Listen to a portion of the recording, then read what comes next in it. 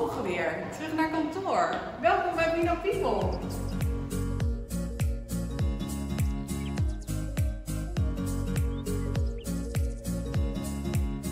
Jongens, we gaan beginnen met de huddle.